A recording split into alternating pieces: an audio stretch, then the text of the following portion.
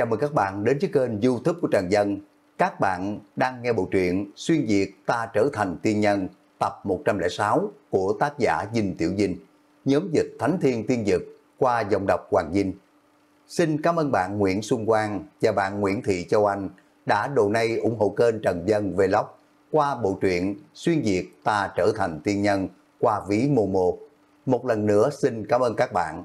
Chúc các bạn nghe truyện vui vẻ. Chương 837 Sinh thêm một đứa. Lý mộ đứng trên đầu của gã nói, Ngươi, dừng một chút. Ngao nhuận dừng thân hình hỏi, Chủ nhân, có gì phân phó? Lý mộ thẳng nhiên nói, Thực lực của ngươi mạnh như vậy, Làm thủ hạ của ta nhất định không có phục lắm rồi. Ta cho ngươi một cơ hội. Ngươi khiêu chiến ta một lần nữa, Ngươi nếu mà thắng, Ta liền trả lại ngươi tự do. Ngao nhuận liên tục lắc đầu, Không không không làm thủ hạ của ngài ta tâm phục khẩu phục. Lý mộ lạnh lùng nói, bớt nói nhảm đi, ta bảo ngươi làm gì, ngươi liền làm cái đó đi. Thần đồ Lý Phủ. Sáng sớm, khi mà Lý mộ từ trong phòng của Lý Thanh đi ra, giảng giảng về tiểu bạch, đã mua đồ ăn trở lại. Các nàng vừa ở cửa phòng bếp rửa đồ ăn, vừa thảo luận một kỳ sự dân chúng thần đô đang đồn đại rầm rộ. Một ngày trước, trong quận không chỉ một người dân khi mà làm lụng ở đồng ruộng nhìn thấy trên trời có thần long bay qua. Thần đô ở đất liền không có bao nhiêu cơ hội nhìn thấy thủy tộc. Long tộc từ trước đến nay đều xuất hiện trong lời đồn. Tin tức Trung quận xuất hiện thần long một khi mà truyền ra dẫn phát bàn luận sôi động khắp dân chúng. Dân chúng chưa bao giờ thấy chân long, tự nhiên không có phân biệt rõ giao long cùng chân long khác nhau. Lý mộ cũng không có mang con giao long kia trở lại thần đô, mà là an trí gã ở một con sông của Trung quận. Ngày thường tu hành, chờ Lý mộ sai phái. Vì địa phương yên ổn, Lý mộ còn lập cho gã hai cái quy củ. Thứ nhất, không cho phép hiện thân trước mặt người khác, quấy nhiễu dân chúng. Thứ hai, trong 10 năm tới, vấn đề sinh lý của gã chỉ có thể lấy tài giải quyết, không cho phép câu dẫn người đã có chồng, cũng không cho phép dụ dỗ nữ tử vô trì, mặc kệ là người hay là yêu, chỉ cần phát hiện một lần, Lý Mộ sẽ trực tiếp cắt công cụ gây án của gã. Mười năm sau, Lý Mộ nhất định đã bước vào cảnh giới thứ sáu, không cần con dao long này nữa, có thể thả cho nó tự do. Hôm nay là ngày bọn quyển cơ về yêu quốc. Lý Mộ tự mình dẫn quan viên của Hồng Lưu Tự tiễn các nàng ra khỏi thành. Quyển cơ vốn muốn bảo Lý Mộ hộ tống nàng về Thiên Hồ Quốc, nhưng đã bị Lý Mộ vô tình từ chối. Tuy nói thân phận của nàng cực kỳ đặc thù, yêu quốc cùng ma đạo, coi nàng là cái đinh trong mắt. Nhưng nữ dương thiên hồ quốc hôm nay sớm không phải là quyển cơ ngày đó. Lý mộ mang tài sản từ yêu hoàng bạch đế nơi đó kế thừa, hầu như tất cả đều đã đưa cho nàng rồi. Hôm nay, cho dù là giao thủ với nữ hoàng, nàng cũng chưa chắc sẽ rơi vào thế yếu. Nào còn cần người khác bảo hộ đâu. Một chuyến đi thần đô này, quyển cơ đã chịu đả kích rất sâu. Chưa ra khỏi Thiên Hồ Quốc, nàng căn bản không có tưởng tượng được nữ dương Thiên Hồ Quốc cùng với nữ hoàng Đại Chu trên lệch rốt cuộc ở nơi nào. So sánh với Đại Chu thần đô, Thiên Hồ Thành của nàng nhiều nhất xem như là một sơn thôn nhỏ cằn cỗi thôi. Trừ phi nàng có thể thống nhất yêu quốc, trở thành dạng yêu nữ dương, hơn nữa mang tu vi tăng lên cảnh giới thứ bảy mới có tư cách ngồi ngang hàng với Chu Vũ. Cửa thành, Quyển cơ nhìn thoáng qua cái thuyền bay lơ lửng trong không trung, nói với Lý Mộ, ta đi đây. Lý Mộ vui mừng, lộ rõ trên nét mặt, vội nói, tạm biệt. Nàng ở thần đô, tận sức trước mặt của Liễu Hàm Yên, chăm ngòi ly gián quan hệ của hắn cùng với nữ hoàng. Nàng đi, gia đình của Lý Mộ ít nhất sẽ hài hòa thêm hai phần. Lý Mộ chờ đợi đã lâu đối với chuyện này, Quyển cơ bắt được một nụ cười trên mặt của hắn, hư lạnh một tiếng nói, ta đi rồi, ngươi rất vui vẻ sao? Lý mộ khoát tay nói, nào có đâu chứ. Đứng xa xa, nhìn thuyền bay quá thành một luồng hào quang đi xa, Lý mộ dây dây ở bên hông còn mơ hồ đào, về cung để mà phục mệnh. Cung trường nhạc, chu Vũ ôm Trung Linh thản nhiên hỏi, con hồ ly đó đi sao? Lý mộ nói, đã đi rồi. Chu Vũ mang mặt mình cùng với mặt Trung Linh dán vào nhau cười nói, Linh Nhi, mẹ sẽ mang con đi một nơi rất thú vị. Tiểu cô nương nói, phụ thân cũng đi đi. Lý Mộ theo sau hai mẹ con bọn họ ra khỏi cung trường nhạc. Nữ hoàng có thể thật sự đến tuổi làm mẹ rồi. Đối với Trung Linh, một câu một tiếng mẹ cưng chiều mọi cách. Ngay cả Lý Mộ cảm giác mình đã bị thất sủng rồi. Nhưng mà hắn cũng không ghen với con gái của mình. Cái loại cảm giác một nhà ba người hòa thuận vui vẻ này, hắn rất là hưởng thụ. Đợi về sau nhàn rỗi, cùng với Liễu Hàm Yên, Lý Thanh cũng sinh hai đứa, cuộc đời liền thật là viên mãn rồi. Trong hoàng cung, viên quan các bộ cùng với cung nữ ở trong cung thấy một màn như vậy đã thấy lạ mà không lạ nữa. Ai cũng biết con gái của Lý Đại Nhân nhận bệ hạ làm mẹ nuôi. Bệ hạ đối với nó có thể hết sức cưng chiều, thường xuyên triệu nó đến trong cung, dặn dò ngữ trù làm các loại món ngon cho nó, dẫn nó đi chơi trong cung, cao thấp hoàng cung đã biết vị tiểu cô nương đáng yêu này. Về phần con gái của Lý Đại Nhân từ đâu mà ra, mọi thuyết xôn xao. Có người nói hắn trước đây sinh với Lý Phu Nhân cho tới bây giờ mới truyền tin. Cũng có người nói Lý Đại Nhân cùng cái vị nữ dương yêu quốc kia sinh ra, gần đây mới được đưa trở về. Hoàng nhiên trong triều có một chút tu vi, tự nhiên có thể nhìn ra. Con gái của Lý Đại Nhân không phải là nhân loại, cũng không phải là yêu tộc, mà là một đạo linh thể, vô cùng có khả năng là Lý Đại Nhân và quỷ vật sinh ra. Loại chuyện này xảy ra trên người của hắn không kỳ quái chút nào. Mọi người đều biết Lý Đại Nhân không bè không đảng, cương trực công chính, một lòng vì dân vì nước, chỉ có háo sắc thôi. Người đẹp thì dần quanh bên người, không chỉ cùng với bệ hạ truyền ra tin đồn, nghe nói cũng có giao tình không cạn với nữ dương yêu quất Cái này thật ra cũng từ khí cảnh sát minh bệ hạ sủng ái đổ giảng. Từ xưa đến nay, quân dương gia phong con cái trọng thần làm công chúa không ít, nhưng mà trực tiếp nhận thân lại phi thường hiểm thấy. Hoàng cung, Chu Vũ dẫn Trung Linh đi vào tổ miếu, Lý Mộ cũng đi theo vào. Đây không phải là lần đầu tiên hắn vào đây, so sánh với lần trước, lần này trong tổ miếu xảy ra biến hóa rất lớn. Nơi này Trần Thiết cũng bố trí y nguyên, 36 cái đỉnh nhỏ nối với một cái đỉnh lớn, một con rồng vàng trong đỉnh lớn di chuyển không ngừng. Nhưng ánh sắc vàng trên mỗi một cái đỉnh nhỏ kia so với Lý Mộ một lần trước nhìn thấy chói mắt hơn không ít. Chói mắt nhất tự nhiên phải thuộc về cái đỉnh ở giữa trung quận, niệm lực của dân chúng thần đô cường đại nhất, bằng với mấy đỉnh còn lại hợp nhất. Lý Mộ lần trước đến, đỉnh niệm lực các quận xa không có sáng ngời như vậy. Cái này nói rõ trong thời gian hai năm qua, niệm lực của dân chúng các nơi đối với triều đình có một sự tăng trưởng rất lớn. Chương 838 Một mặt là luật lấy bạc chuộc tội quỷ bỏ, xử trí tham quan ô lại, khiến cho dân chúng càng thêm tin cậy đối với triều đình. Một mặt khác, các quận sau khi mà thành lập yêu ti, yêu vật cảnh nội của Đại Chu cũng cống hiến ra không ít niệm lực. Trừ cái đỉnh nhỏ càng thêm sáng ngời, rồng vàng trên cái đỉnh lớn kia so với Lý Mộ lần trước gặp cũng béo lên cả một vòng. Lúc này đang vui vẻ di chuyển trong đỉnh. Ba lão giả mặc tứ trạo long bào thủ ở chỗ này, bọn họ là cường giả tiêu thị hoàng tộc. Từ sau khi bị chu gia trộm đế khí, tiêu gia liên suốt tận ba cường giả tông tộc trấn thủ tổ miếu, để tránh đế khí lại một lần xuất hiện sai lầm. Mà ba người này cũng sắp xỉ toàn bộ chiến lực đứng đầu của tiêu thị hoàng tộc. Ba lão giả thấy nữ hoàng mang theo Lý Mộ cùng Trung Linh tiến vào, chỉ là dương mắt nhìn thôi, liền một lần nữa nhắm hai mắt lại. Trung Linh dương tay muốn đi bắt con rồng vàng kia. Lý Mộ vội nói, cái này không thể sợ đâu. Chu Vũ liếc Lý Mộ một cái thản nhiên nói, có cái gì mà không thể sợ. Nàng nhìn phía con rồng vàng kia nói, lại đây.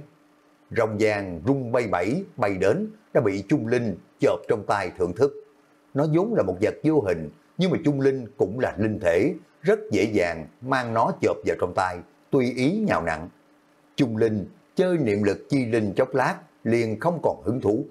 Tuy họ đều là linh thể, nhưng mà nó dựa vào thiên địa nguyên lực. Con rồng này là niệm lực ngưng tụ, không thể để cho nó hấp thu tu hành, cho nên nó rất nhanh thả con rồng này ra. Rồng vàng lấy được tự do, lập tức chui vào trong đỉnh, không có dám thò đầu ra. Trung Linh hiển nhiên không biết, nơi này là quan trọng nhất của Đại Chu, chỉ cảm thấy nơi này giam cầm nhàm chán, rất nhanh ồn ào, đã muốn rời khỏi rồi. sau khi một nhà ba người rời khỏi, tổ miếu một lần nữa khôi phục yên tĩnh. Mà ba người ở góc khoanh chân nhắm mắt tu hành, có hai người chậm rãi mở mắt. Lão giả bên trái khẽ nhíu mày lẩm bẩm. Nàng, đây là ý tứ gì? Đang yên đang lành, vì sao mà bỗng nhiên nhận một đứa con gái? Lão giả bên phải thản nhiên nói, cái này có cái gì phải đoán. Chỉ cần nàng chưa có truyền ngôi cho người của chu gia, làm cái gì cũng không có quan hệ với chúng ta. Trong coi luồng đế khí này cho tốt, dựa theo tốc độ niệm lực hội tụ hôm nay, ngắn thì 5 năm, lâu là 10 năm, một đạo đế khí mới sẽ thành thục. Đến lúc đó, chỉ cần dược ở trước chu gia, thì có thể một lần nữa hành động quyết định đại cốt rối Nói xong, trong mắt của lão lộ ra cảm khái nói, nàng tại vị mới có 5 năm mà thôi, ai cũng không có thể ngờ được. Đế dương đại chu từ trước đến nay ngưng tụ ra đế khí nhanh nhất, lại chính là nàng. Lão giả bên trái nhìn lão một cái hỏi ngược lại, cái này chẳng lẽ còn không có tính là việc lớn sao? Ngươi cũng không có ngẫm lại ngôi vị hoàng đế của nàng là như thế nào mà có. Nếu nàng mang một đạo đế khí này cho con gái nuôi của nàng, còn có chuyện của chúng ta sao? Lão giả bên phải lắc đầu nói, điều đó không có khả năng, ngươi cũng biết, cô bé đó chỉ là một đạo linh thể thôi, lai lịch cũng bất minh, nó không có thể tiếp nhận đế khí. Bách quan và dân chúng của Đại Chu không có tiếp nhận nó trưởng thành hoàng đế. Nếu mà Chu Vũ thật sự muốn làm như vậy, bốn thư viện lớn cũng sẽ không có ngồi xem mặt kệ đâu. Lão giả bên trái nhìn lão thản nhiên nói, cô bé kia là không có khả năng, nhưng mà người khác thì sao? Nhỡ đâu mà nàng thích loại cảm giác này, tính tự mình sinh một đứa. Đến lúc đó, dân chúng có thể phản đối, bốn thư viện lớn còn có thể phản đối sao? Lời vừa nói ra, ngay cái lão giả ở giữa, trước sau nhắm mắt kia, hai con mắt đột nhiên mở ra. Hai năm qua, tình thế của thần đô xảy ra biến hóa nghiêng trời lệch đất. Đảng mới, đảng cũ, từng nắm giữ toàn bộ triều đình, ở trên triều đường đã sớm mất đi đại bộ phận quyền lên tiếng. Đám đông quan viên lấy Trương Xuân cầm đầu, bắt đầu kiên định, đứng về phía nữ hoàng. Bốn thư viện lớn, hai năm trước, rõ ràng ủng hộ hai cái đảng cũ mới. Hai năm nay, thái độ càng ngày không có thể nắm lấy rồi. Nguyên nhân ở chỗ, lúc trước mọi người đều cho rằng Đại Chu sẽ quỷ trong tay của vị nữ tử đế dương này. Nhưng mà thật sự vừa dặn trái ngược. Hôm nay Đại Chu, thời điểm cường đại nhất, ngưng tụ nhất gần 50 năm qua. Bốn thư viện lớn không còn lý do nhúng tay người kế thừa của nữ hoàng. Lấy nữ hoàng bây giờ được lòng dân cùng với quyền thế trong tay nắm giữ. Chỉ sợ nàng làm ra quyết định không quá khác người, dân chúng và bốn thư viện lớn đều sẽ không có phản đối. Nàng tự sinh một đứa con, tương lai truyền ngôi cho nó, cũng không ở hàng ngũ khác người. Ba người nghĩ đến loại khả năng này, bỗng phát hiện không biết từ đâu, từ khi nào, tiêu thị đã hoàn toàn mất đi sự khống chế đối với Đại Chu.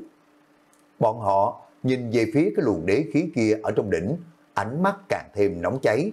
Sự thật, tiêu thị thất thế đã không thể xoay chuyển. Luồng đế khí này có lẽ là hy vọng cuối cùng của bọn họ. Sau khi mà trầm mặt hồi lâu, lão giả ở giữa chậm rãi mở miệng.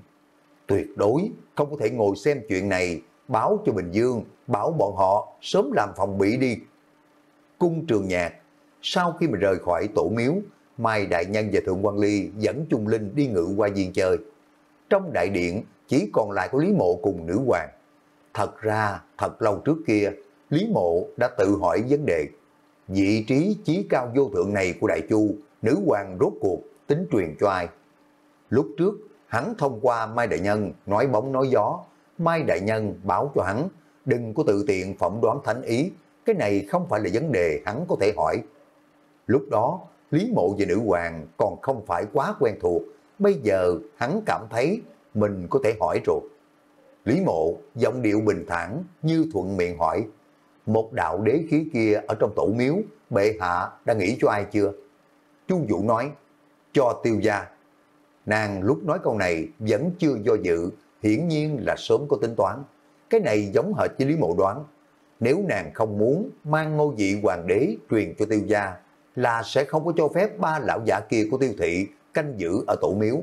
Cái này nói lên, nữ hoàng ban đầu lên ngôi, liền đã có quyết định này rồi. Lấy hiểu biết của Lý Mộ đối với nàng, nàng tất nhiên cũng đã cảm thấy họ Chu đạt được ngôi vị hoàng đế bất chính. quan niệm tiêu gia thống trị đại Chu mấy trăm năm, tiêu thị chính hoàng tộc đã thâm căn cổ đế. Trả ngôi vị cho tiêu gia là hợp tình hợp lý. Chu Vũ nhìn Lý Mộ hỏi, Người cảm thấy thế nào? Lý Mộ nói, thần nghe bệ hạ.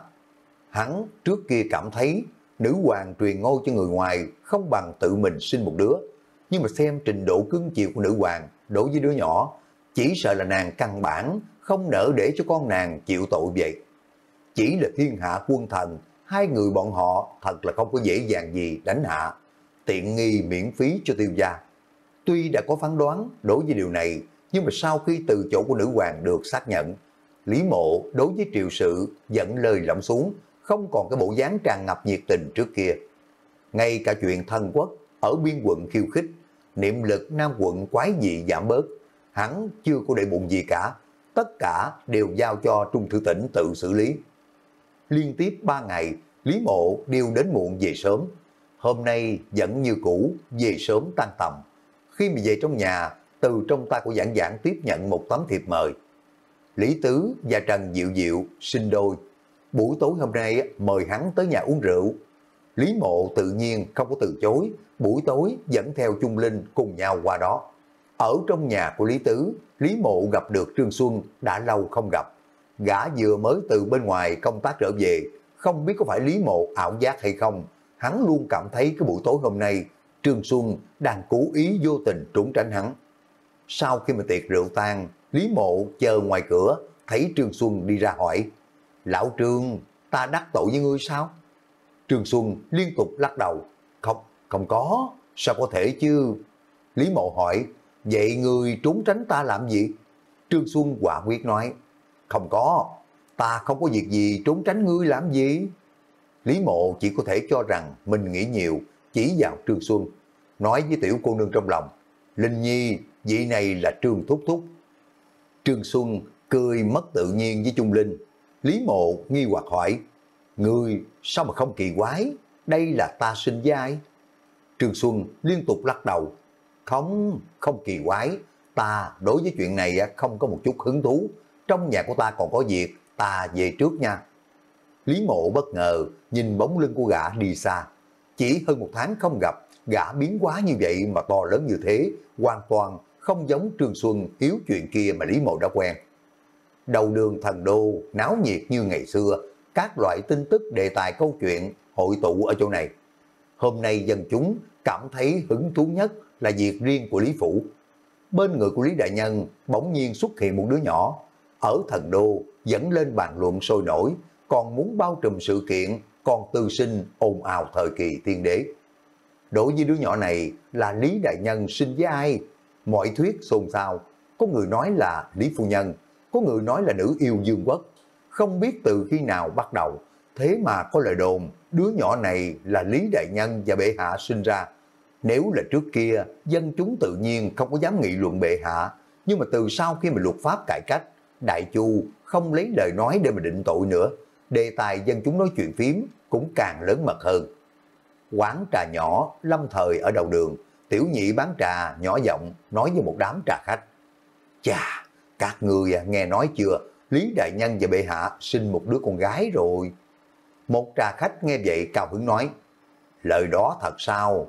Tiểu nhị ngẩn ra một phen ngạc nhiên nói, cái này là chuyện trái với luân lý cương thường, ngươi tựa như rất cao hứng à. Trà khách đó không chút do dự nói, đó là đương nhiên, hổ phụ không có huyện tử, con của Lý Đại Nhân cùng với bệ hạ, về sau tất nhiên cũng là rồng phượng trong lòng người. Con bé nếu có thể kế thừa vị trí của bệ hạ, con cháu của chúng ta cũng có thể rốt cuộc có cuộc sống tốt rồi. Một đám trà khách nghe vậy, nhào nhào hưởng ứng. Thật hay là giả đó, còn có loại chuyện tốt này sao? Nếu là thật, vậy thì tốt rồi. Tiểu nhị quan trà, kinh ngạc nhìn mọi người, hắn vốn tưởng chuyện này mà lọt vào dân chúng, chỉ trích nghị luận, như thế nào không ngờ được, dân chúng lại có loại phản ứng này. Giống như so với chính bọn họ, sinh con còn cao hứng hơn nữa chứ.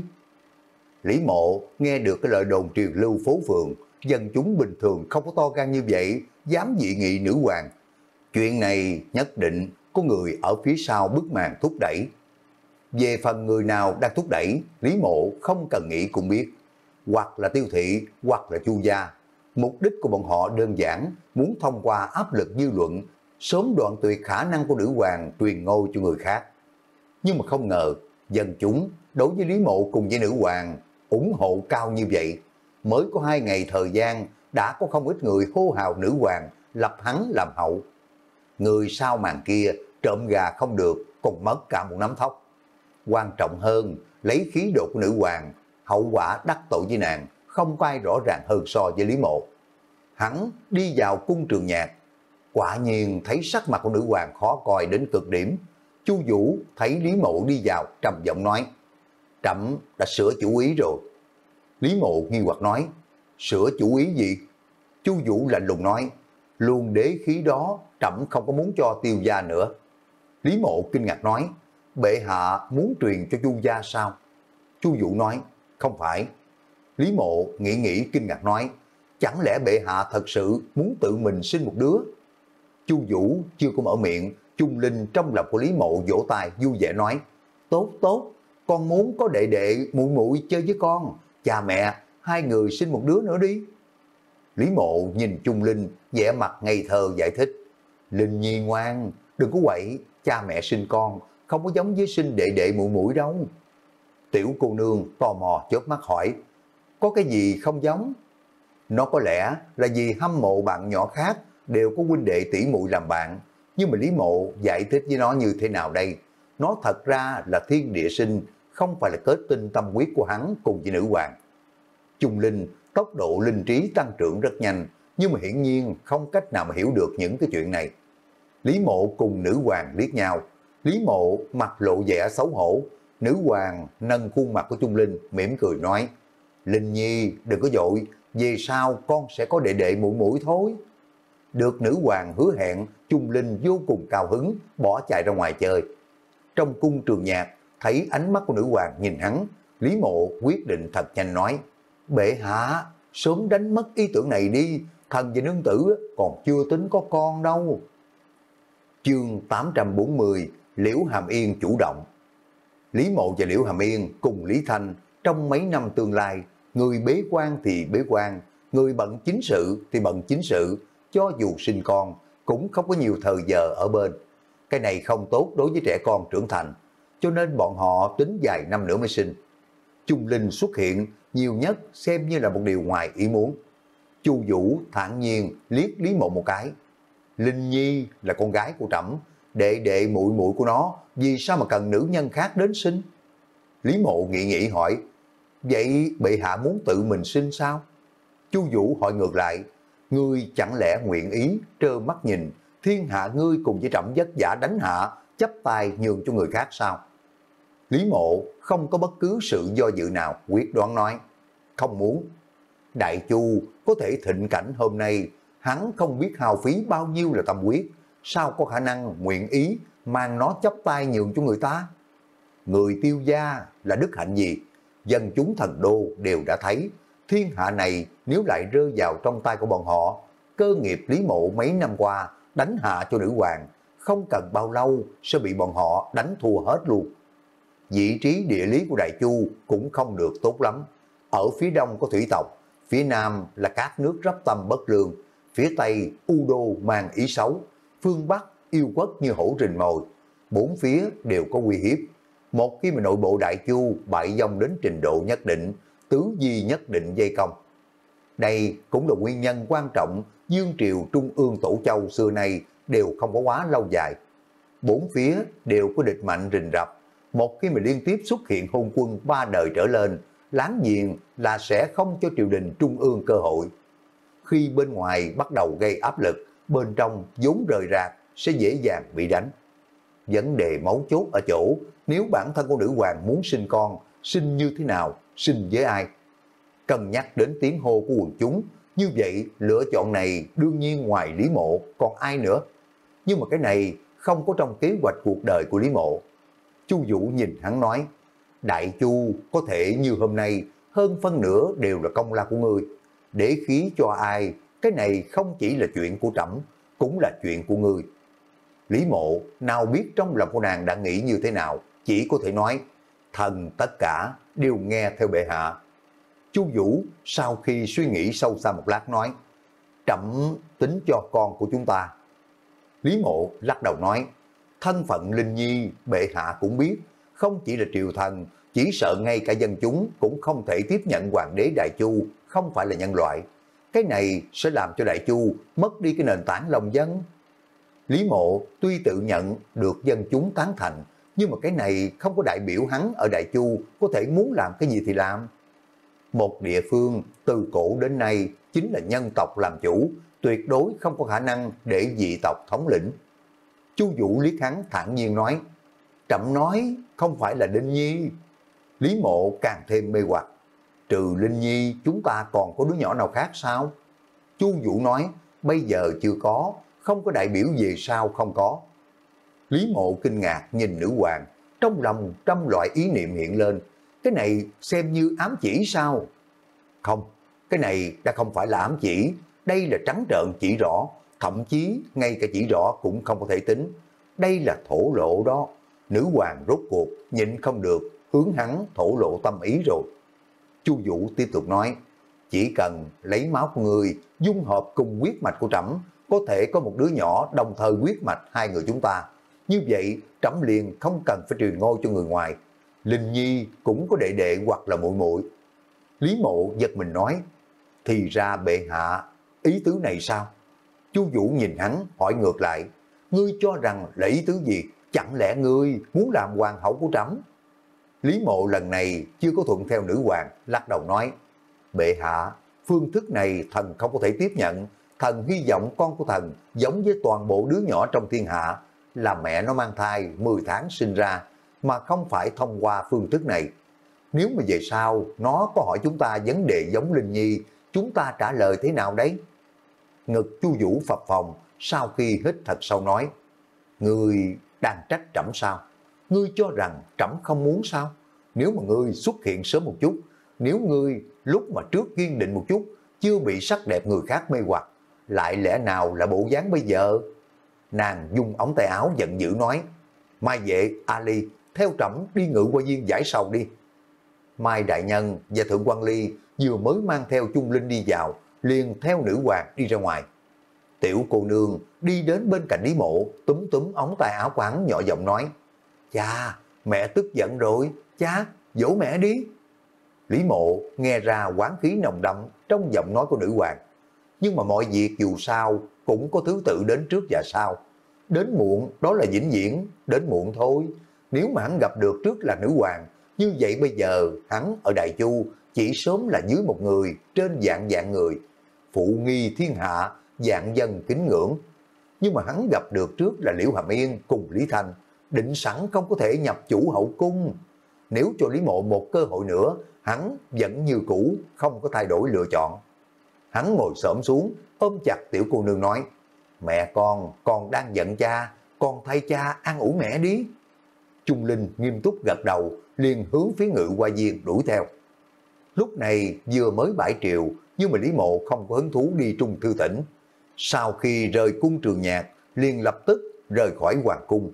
Nhưng mà hắn vừa mới ra khỏi cửa cung, liền có một bóng người đứng chắn trước mặt của hắn. Lý Mộ nhìn nam tử trung niên trước mắt nhíu mày hỏi, Bình Dương Điện Hạ, có việc sao? Bình Dương nhìn hắn thẳng nhiên nói, đừng có tưởng bộ dáng tuấn tú, có thể muốn làm gì thì làm, quan tộc Đại Chu vô luận họ gì đều sẽ không là họ Lý. Lý Mộ nhìn Bình Dương hỏi, lời đồn của thần đô là các ngươi phát tán sao? Bình Dương chưa trực tiếp đáp lại, lạnh lùng nói, việc cướp đoạt chính quyền ở Đại Chu sẽ không có xảy ra lần thứ hai. Nếu tiêu gia thành thành thật thật, lâu là 10 năm, ngắn thì 5 năm, đợi đế khí ngưng tụ, nữ hoàng sẽ trả cho bọn họ. Tranh đấu nhiều năm với chu gia, bọn họ không có chiến tự thắng. Nhưng mà điều kiện tiên quyết của tất cả cái này là chớ của chọc nữ hoàng. Lý mộ khẽ thở dài một tiếng, nhìn về phía Bình Dương hỏi, biết heo là chết như thế nào không? Bình Dương nhíu mày nói, ngươi nói vậy là ý gì? Lý mộ lười trả lời hắn, lập tức rời khỏi. Chương 841 Bình Dương tuy không thích Lý mộ, nhưng mà không thể phủ nhận hắn quả thật có thủ đoạn. Loại người này không có ù ù cạc cạc, giúp cho gã một vấn đề như vậy, trong đó tất nhiên có thẩm ý khác. Năng lực của một con người có hạn, vì thế gã mang nhân vật trung tâm tiêu gia, triệu tập lại với nhau, cùng nhau bàn bạc. Đây là điều Lý Mộ nói sao? Không đầu không đuôi, hiểu như thế nào? Một chữ heo tất nhiên không có đơn giản như mặt ngoài, ám chỉ hay không? Hắn chẳng lẽ đang thầm mắng tiêu gia của chúng ta? Hắn tất nhiên là biết, đồn đãi trong phố phường có liên quan hắn cùng với nữ hoàng, là chúng ta âm thầm bày mưu đặt kế. Mấy người đang bàn luận, chợt có một thanh âm từ trong góc gian lên.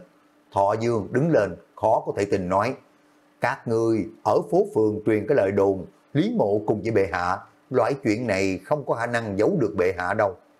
Bình Dương nói, biết lại như thế nào, cái này vốn chính là nói cho hắn cùng nữ hoàng nghe, bọn họ vua không ra vua, thần không ra thần, chẳng lẽ sẽ không sợ chọc giận người trong thiên hạ gì nghĩ? Nếu mà thật sự sanh ra một đứa nhỏ, sẽ làm cho Đại Chu trở thành trò cười dạng năm. Định Dương tiếc núi nói, đáng tiếc cái lũ ngu dân kia, đối với cái chuyện này, thế mà là trầm trồ khen ngợi luôn. Thọ Dương một lần nữa ngồi trở lại, hai tay che mặt, không biết phải nói cái gì. Hồi lâu, từ trong kẻ ngón tay truyền ra tiếng hắn. Nếu mà vấn đề này có đáp án, vậy heo nhất định chết là vì ngu rồi. Chúng nó ngu đến mức tự mình thả bay mất cái dịch nấu chín. Bình Dương nhíu mày. Ngươi, có ý tứ gì? Thọ Dương tựa vào trên ghế, mệt lòng nói. Rõ ràng dễ thấy, nữ hoàng không có ý với ngôi vị hoàng đế. Nàng thượng vị tới nay, trọng dụng lý mộ. Như ngoại, an nội, ngân tụ lòng dân là tính sau khi mà nhanh chóng ngưng tụ ra đế khí thoát thần. Nàng cho phép ba vị dương túc ở lại tổ miếu, chính là tính mang ngôi vị hoàng đế, một lần nữa trả lại cho tiêu gia.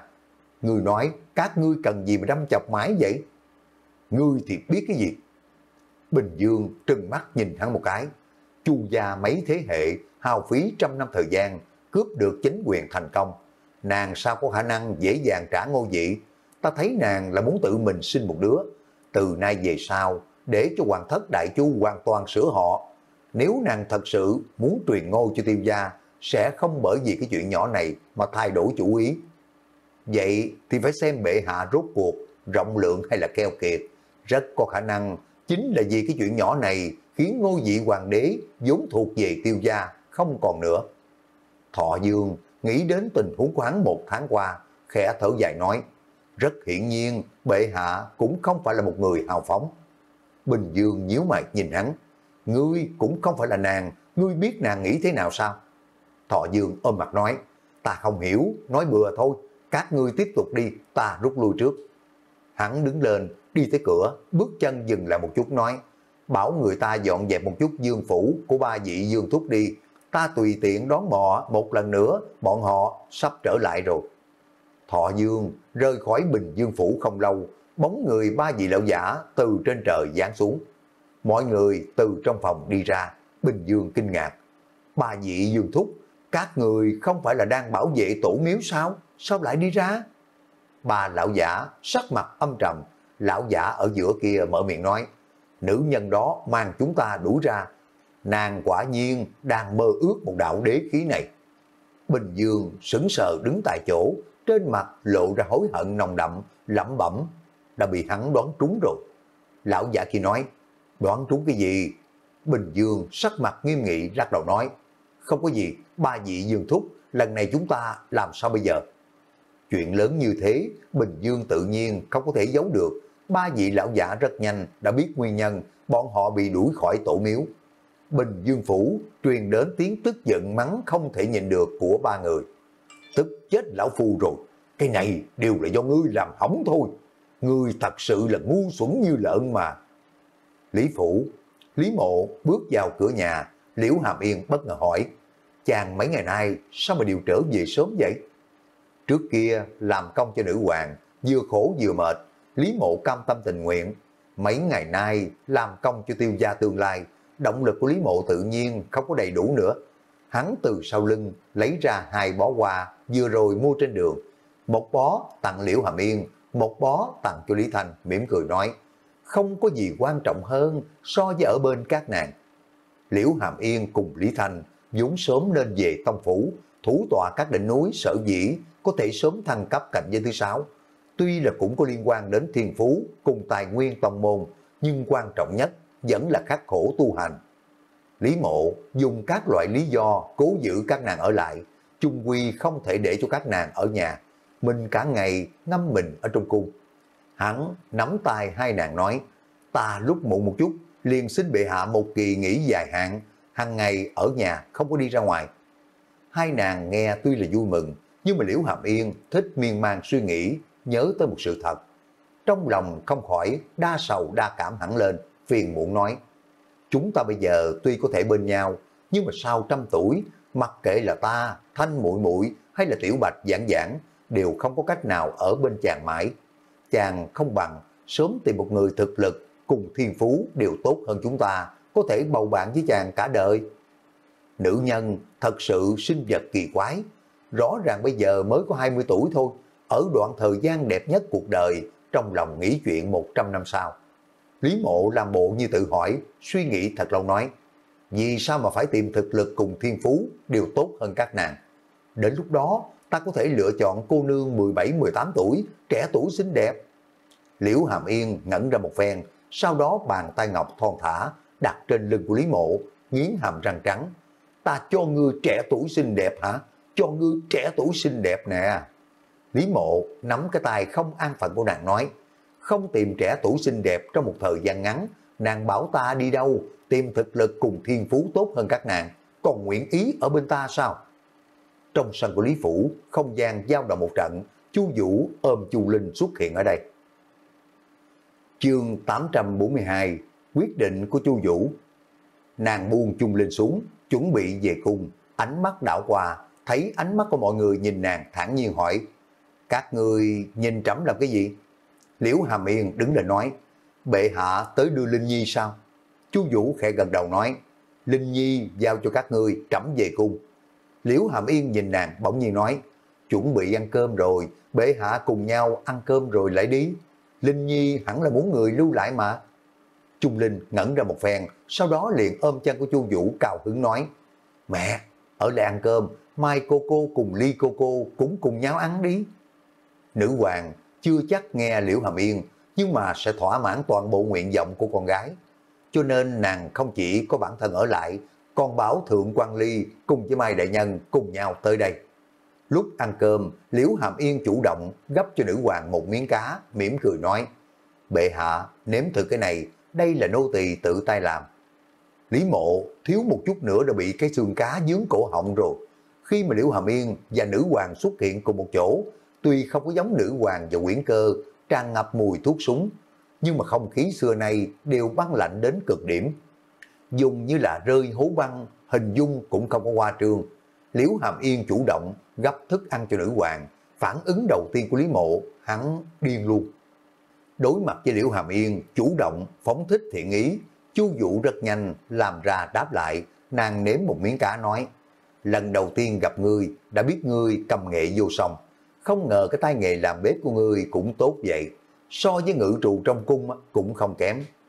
Mai Đại Nhân và Thượng quan Ly liếc nhau, nàng nhớ rất rõ, lúc bệ hạ còn là Thái tử Phi, ba người cùng đi nghe Liễu Hàm Yên đạn tấu. Mình đã khen tài đánh đàn của nàng cao, bệ hạ đánh giá, chỉ có vậy mà thôi. Liễu Hàm Yên nói tiếp, lần đầu tiên gặp bệ hạ, nô tỳ đã cảm thán, thần đô thế mà có một mỹ nhân như vậy, khiến cho nô tỳ tự biết xấu hổ.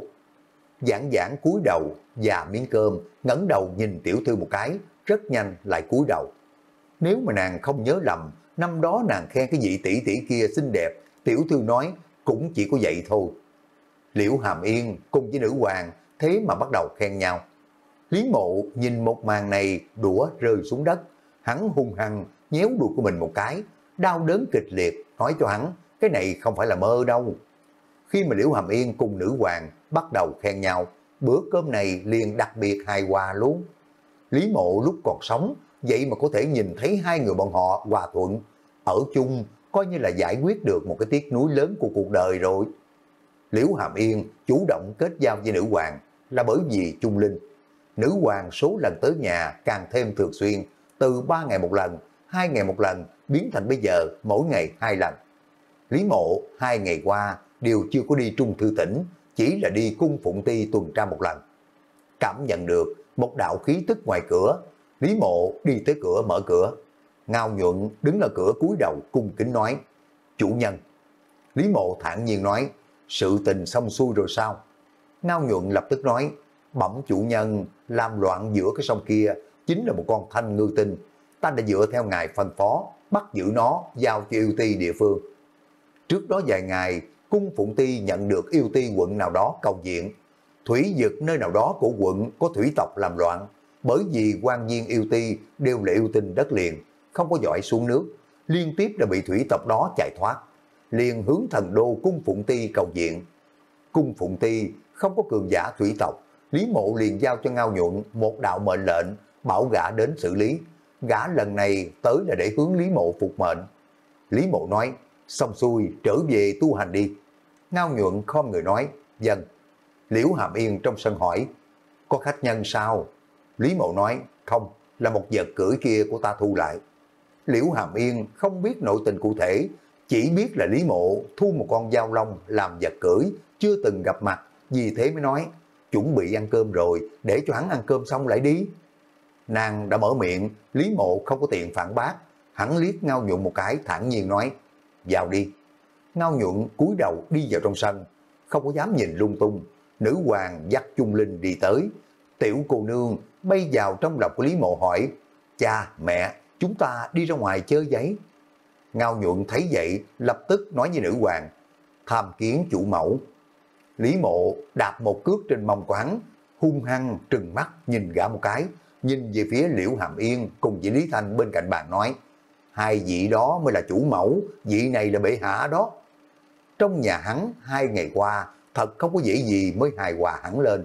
Nếu bị con dao long ngu ngốc này phá hủy, Lý Mộ nhất định lột da của gã, rút gân dao của gã, mang thịt dao của gã, băm cho chó ăn.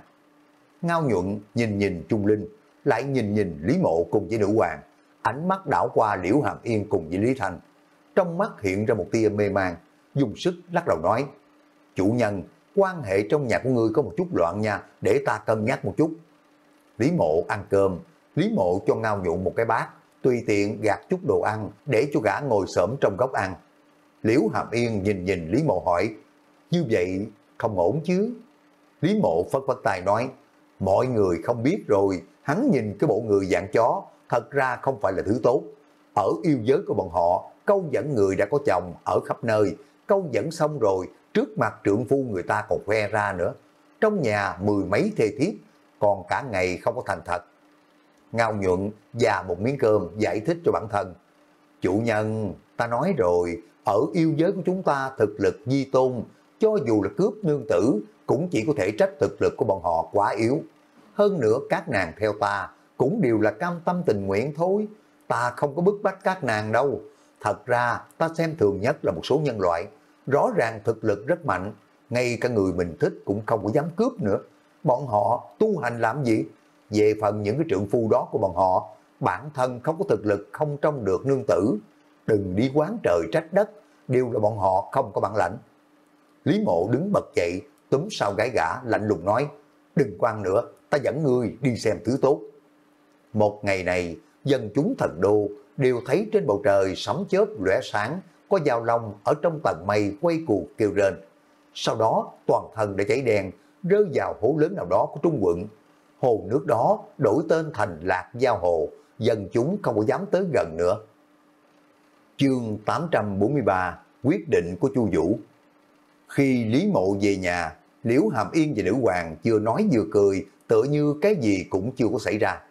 Cái này rất kỳ quái, dù sao các nàng trước đó tuy đã gặp mặt, nhưng cái lời từng nói cộng lại cũng không tới năm câu. Nữ hoàng có kiêu ngạo của nàng, sẽ không có dễ dàng hạ thấp thân phận. Liễu Hàm Yên có ngạo kiều của Liễu Hàm Yên, người nàng không thích, cho dù thân phận cao quý tới đâu cũng tuyệt đối không quan tâm một câu. Nhưng chỉ là nàng chủ động trước. Liễu Hàm Yên tuy chưa có nói rõ, nhưng mà Lý Mộ nào sẽ không rõ. Lấy tính tình cao ngạo của nàng, nguyện ý chủ động nịnh hót nữ hoàng, rốt cuộc có ý nghĩa cái gì? Làm thê tử, nàng đang nghĩ cho Lý Mộ trăm năm về sau. Kết hợp nàng vừa rồi đã nói với Lý Mộ, rất hiển nhiên, trong mắt nàng, nữ hoàng chính là nhân tuyển tốt nhất, thiên phú tốt hơn các nàng, tuổi thọ dài hơn các nàng, có thể bầu bạn với Lý Mộ mãi, thẳng cho đến khi hắn hết tuổi thọ. Sau khi mà nữ hoàng về cung, Liễu Hàm Yên nhìn Lý Mộ một cái. Ở chung lâu ngày, Lý Mộ sớm hiểu được ý tứ một ánh mắt, một động tác của nàng, theo nàng đi vào trong phòng. Liễu Hàm Yên ngồi bên giường, dỗ dỗ bên cạnh người, Lý Mộ đi qua, ngồi bên cạnh nàng, Liễu Hàm Yên hỏi, chàng rốt cuộc không có nhìn ra ý tứ của bệ hạ đối với chàng sao? Lý Mộ cẩn thận hỏi, có ý tứ gì? Liễu Hàm Yên bên hông nhéo cho hắn một cái, nơi này lại không có người ngoài, chàng ở đây giả vờ với ta là có ý tứ sao? Chiêu trò của Liễu Hàm Yên hãm hại sâu, Lý Mộ đã sớm không có chủ động vào bẫy hỏi, nàng rốt cuộc có ý tứ gì, nói cho rõ đi, nàng không nói, ta làm sao biết nàng có ý tứ gì? Liễu Hàm Yên sau khi bình tâm tĩnh khí, chậm rãi nói, bệ hạ còn trẻ tuổi như vậy, đã là cường giả cạnh với thứ bảy, ta không tin chàng nhìn không ra tâm ý của bệ hạ đối với chàng. Chàng nếu quý tưởng đợi tới sau khi ta cùng muội muội hết tuổi thọ lại bên nhau với bệ hạ, ta khuyên chàng á, vẫn sớm bày tỏ tâm ý của nàng. Chàng chẳng lẽ muốn để cho nàng chờ chàng 100 năm sao? Lý mộ nhìn nàng hỏi, nàng không sợ lỡ đâu mà các nàng thăng cấp cảnh giới thứ bảy, đến lúc đó hối hận sao? Liễu Hàm Yên cẩn thận nghĩ nghĩ, bỗng nhiên khoát tay nói, coi như ta chưa nói. Ra khỏi phòng, Lý mộ bởi vì tự trách mình lắm miệng, nhẹ nhàng tác cho mình một cái. Khi tới trong sân, tâm tình của hắn trầm trọng xuống. Là liễu hàm yên, đa sầu đa cảm cũng tốt, phòng ngừa chu đáo cũng như vậy. Rồi có một ngày, Lý mộ phải đối mặt vấn đề này. Hắn đối với bản thân, thăng cấp cạnh với thứ bảy, không có bất cứ sự hoài nghi nào. Truyền thừa của phù lục phái, niệm lực của dân chúng đại chu, niệm lực của bầy yêu thiên hồ quốc, có thể khiến cho hắn trong 20 năm thậm chí thời gian ngắn hơn bước vào cảnh giới này. Nhưng mà Liễu Hàm Yên cùng Lý Thanh thì sao? Giảng giảng cùng với Tiểu Bạch thì sao? Giới tu hành có một nhận thức chung, siêu thoát chính là một phần cố gắng, cộng thêm 9 phần truyền thừa. Tư chất cá nhân, trình độ cố gắng tu hành, thật ra không phải là nhân tố quyết định có thể bước vào cảnh giới thứ bảy hay không. Nữ hoàng bởi đế khí mà siêu thoát, quyền chân tử cùng ngọc chân tử là vì truyền thừa phù lục phái. Thanh sát Lan Dương cùng dạng quyển thiên quân cũng là hợp sức yêu quốc. Khổ tu mấy chục năm mới có tu vi này. Bản thân của Lý Mộ có lòng tin thăng cấp. Liễu Hàm Yên, Lý thành mặc dù là dựa vào phù lục phái, cũng chỉ có một tia hy vọng. Tiểu Bạch và Giảng Giảng lại ngay cả một tia hy vọng cũng không có. Lý Mộ, tinh thông thần thông thuộc Pháp, hai yêu tộc nhân yêu, lại hoàn toàn lĩnh ngộ thiên thư đang đỉnh phái, nhưng mà lại không có một loại biện pháp nào có thể khiến các nàng như mình dễ dàng vượt qua lạch trời này. Trừ phi dùng phép quyết tế hồn tế ma đạo tương tự thiên quyển thượng nhân, nhưng mà loại phương pháp này hắn ngay cả cân nhắc cũng sẽ không cân nhắc. Lý mộ cẩn thận suy nghĩ có một ngày, phương pháp duy nhất có thể nghĩ đến chính là lập quốc. Đường tắt tu hành nhanh nhất, lợi dụng niệm lực sinh linh mà cái phương pháp thu thập niệm lực của sinh linh đơn giản nhất. Đó giống như Đại Chu cùng với Ung Quốc. Ở dân gian thành lập quốc miếu, dùng sức cả một quốc gia thai ngén để khí.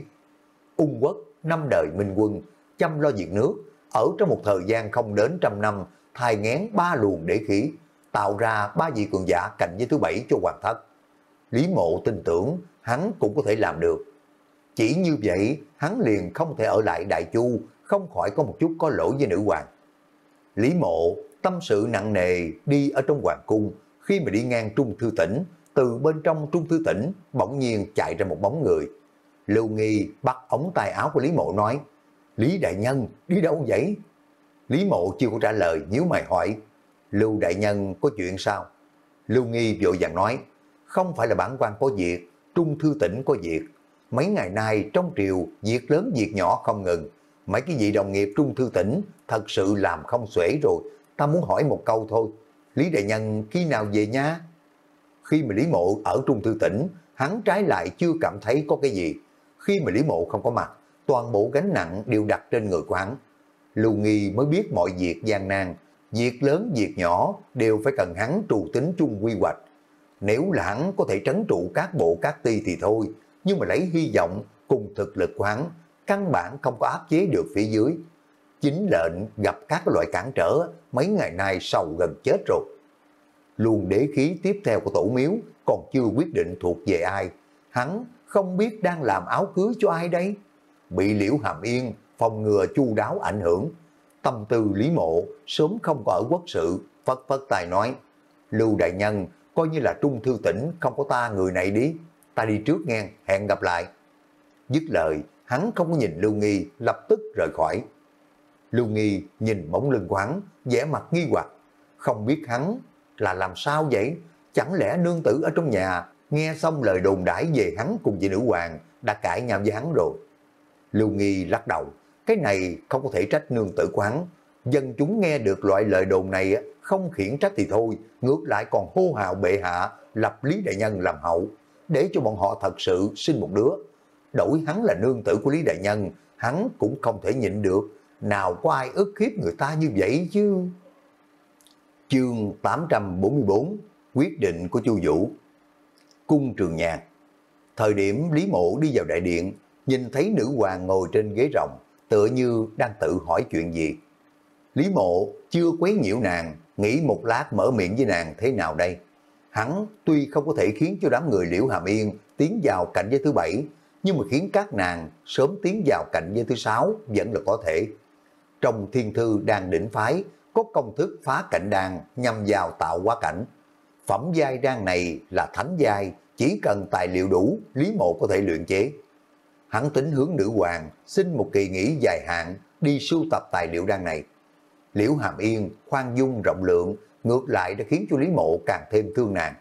Hắn tính mau chóng để cho các nàng thăng cấp cảnh giới thứ sáu, để tránh các nàng miên man suy nghĩ. Chu Vũ trầm ngâm hồi lâu, như làm ra một cái quyết định. Nàng nhìn về phía Lý Mộ, mở miệng nói, Trẫm... Lý Mộ ngẩng đầu nói, thần... Thôi, ngươi nói trước đi. À không, bệ hạ nói trước. Ánh mắt của hai người giao hội, Chu Vũ gật đầu nói, Trẫm đã nghĩ xong cái luồng đế khí tiếp theo cho ai rồi. Lý Mộ hỏi, ai? Chu Vũ nói, cho Liễu Hàm Yên đi. Lý Mộ cho rằng mình nghe lầm, chấn kinh hỏi, ai? Chu Vũ nói, cho nương tử của nhà ngươi. Lý Mộ hồi lâu lấy lại tinh thần hỏi, chỉ bởi vì nàng ấy khen ngài xinh đẹp sao? Tự nhiên không phải đâu. Chu Vũ liếc hắn nói, trẫm đã nghĩ rồi, trẫm đăng cơ 5 năm, nếu mà đại chu lòng dân không mất, nhiều nhất qua 5 năm nữa sẽ có một luồng đế khí thành thục. Đến lúc đó, nếu mà trẫm tiếp tục làm nữ hoàng đại chu, một luồng đế khí này liền có thể dùng để mà tạo thành thêm cho đại chu một vị cường giả cạnh giới thứ bảy. Nếu lòng dân niệm lực có thể tăng trưởng như hai năm qua, như vậy luồng đế khí tiếp theo thành thục, không cần tới 10 năm, trong vòng trăm năm, ít nhất có thể ngưng tụ 10 luồng đế khí. Ngưng tụ đế khí công lao của người lớn nhất, đến lúc đó lại cho nhị phu nhân nhà ngươi một đạo, giảng giảng một đạo, tiểu bạch một đạo, mai vệ một đạo, a ly một đạo, thính tâm một đạo, còn có thể còn lại vài đạo. Nữ hoàng nói một phen, khiến cho Lý Mộ đứng ngẩn ra thật lâu, đầu óc thoáng hẳn ra. Muốn ngưng tụ đế khí, cần gì phải lập nước, hắn trước mắt đã có một đế quốc khổng lồ dân cư nhiều nhất rồi, lòng dân ngưng tụ nhất trên đại lục luôn. Lấy thể lượng của Đại Chu, trước kia ngưng tụ ra một đạo đế khí, chậm thì 20 năm, lâu 50 năm, gặp minh quân thời gian ngắn lại, gặp hô quân kỳ hạn kéo dài. Lý mộ có lòng tin, mang thời gian đế khí ngưng tụ rút ngắn lại đến trong vòng 10 năm. Chỉ cần Đại Chu còn có một ngày nắm giữ trong tay của nữ hoàng, nàng liền có quyền xử trí tuyệt đối đối với đế khí.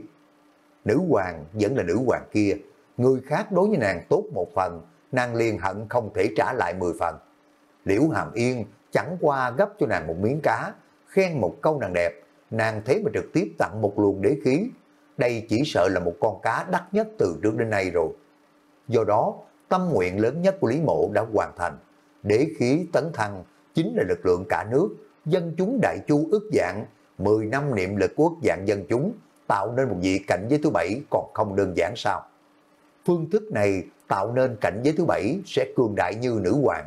thành sát Lan Dương, dạng quyển thiên quân, trước mặt các nàng như gà đất chó ngói, không chịu nổi một đòn đấu. Cái này đối với mọi người là một chuyện tốt, duy chỉ có đối với nữ hoàng thì không phải.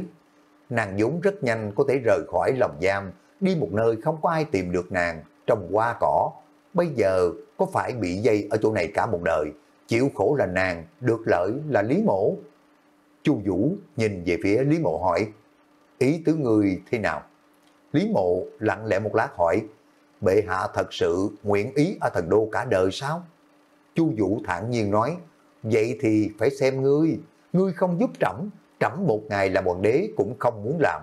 Ngươi nếu giúp trẫm, trẫm cho dù làm hoàng đế cả đời có cái gì không được.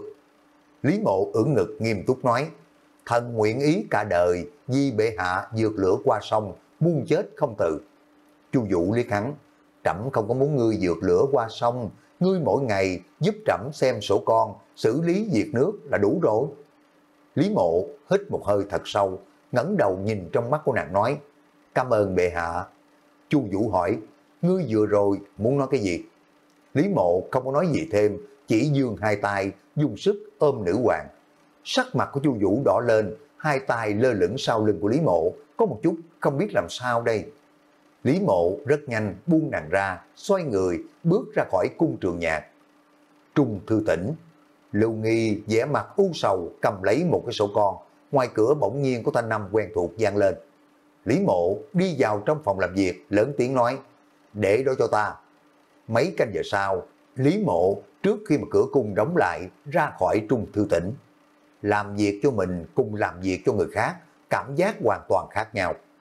Lý mộ trước khi xem mỗi một phần sổ con đều sẽ nói cho bản thân, hắn vất giả hao tầm tốn sức như vậy, không phải vì triều đình đại chu, mà là vì dân chúng của đại chu, vì lòng dân niệm lực, vì đế khí ngưng tụ, vì cùng với người hắn yêu, bạch đầu dài lão.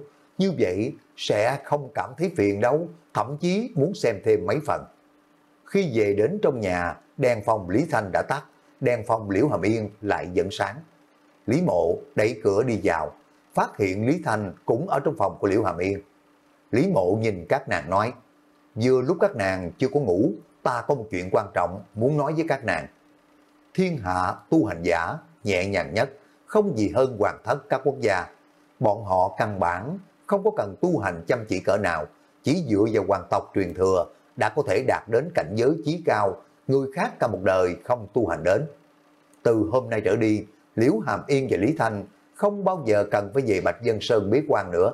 Vợ chồng của bọn họ không cần tách ra thật lâu nữa. Lý mộ có thể tưởng tượng bộ dáng cao hứng của các nàng như thế nào khi mà biết cái chuyện này. Liễu Hàm Yên nói, chúng ta cũng có chuyện muốn nói cho chàng. Loại tin tức quan trọng này đương nhiên phải đặt ở cuối. Lý mộ nói, vậy thì các nàng nói trước đi. Lý Thành hơi cúi đầu, vẻ mặt của Liễu Hàm Yên có một chút ái nái nói, chúng ta ngày mai phải trở về Bạch Dân Sơn, buổi buổi tối hôm nay chúng ta cùng nhau tu hành nha. Các bạn vừa nghe xong tập 106 Xuyên Việt ta trở thành tiên nhân.